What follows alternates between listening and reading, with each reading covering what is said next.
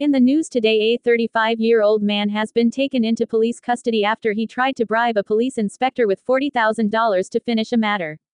The incident took place at the Grove Police Station.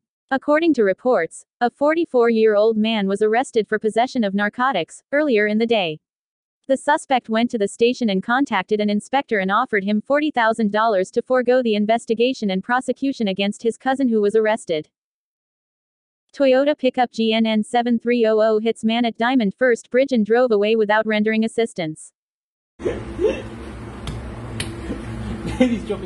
see so far.